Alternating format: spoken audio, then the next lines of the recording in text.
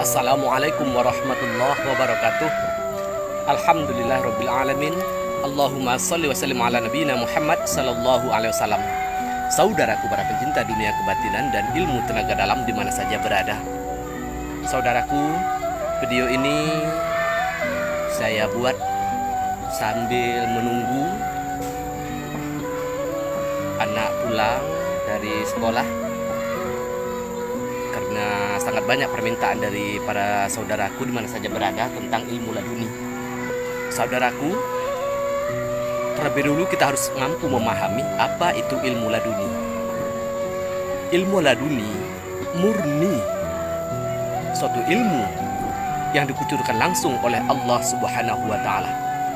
Karena itu wahai saudaraku, syarat yang paling penting untuk mendapatkan ilmu laduni adalah mendekatkan diri sedekat-dekatnya kepada Allah Subhanahu wa taala.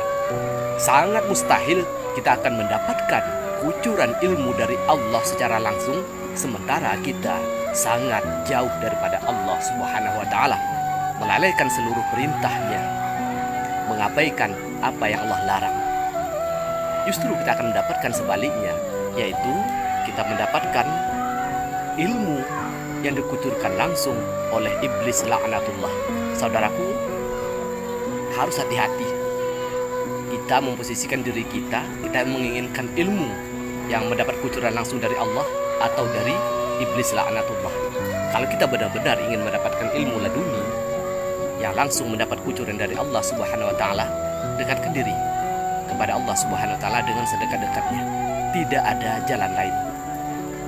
Di dunia ini hanya ada dua wali, wali Allah dan wali setan. Silahkan saudaraku pilih yang mana.